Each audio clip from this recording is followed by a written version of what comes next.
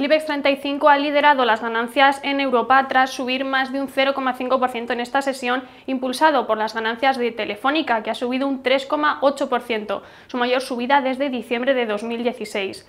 La operadora ha presentado sus resultados de 2017 esta mañana, un periodo en el que incrementó sus ganancias más de un 30%.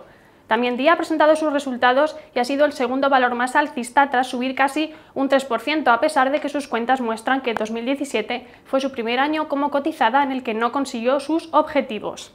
En rojo, ACS ha protagonizado las caídas tras dejarse un 1,3%, seguido de CaixaBank, que se deja casi un 1%, y Acerinox, que cede un 0,6%. En Europa, solo el IBEX 35 y el CAC 40 han conseguido cerrar en verde. De nuevo, el FTSE 100 ha sido el más bajista tras dejarse un 0,4%. Pueden seguir informados en vuestramanía.com.